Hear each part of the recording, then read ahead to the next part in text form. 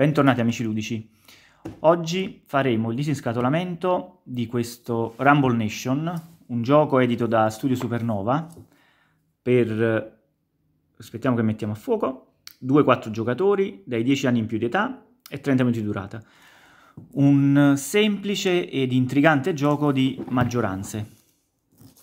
Apriamo il cellophane che ho sempre pre-inciso per favorire questa fase apriamo la scatola, anche questa di dimensioni compatte e utili all'archiviazione. Abbiamo due regolamenti, uno in francese e uno in italiano, con la lista de classica dei componenti, un regolamento di otto pagine, ah ci sono anche dei simpatici cenni storici sui vari eh, palazzi e castelli citati nel gioco, Uh, sì, 30 minuti, un gioco molto molto semplice, eh, che si spiega e si gioca velocemente. Infatti vi rimando al video di Teo sul suo canale. Qui abbiamo i, i pochi segnalini, il tabellone rettangolare. Con, aspettate, ecco qua,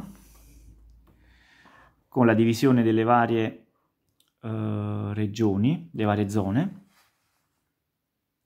e con il riepilogo per l'utilizzo dei dati, perché ci sono anche dei dati da rollare e utilizzare. Qui abbiamo le carte, le carte azione, che sono in una comoda bustina che si apre velocemente e che le fa riporre altrettanto velocemente nella scatola. Ah, non sono telate però hanno una bellissima resa al tatto.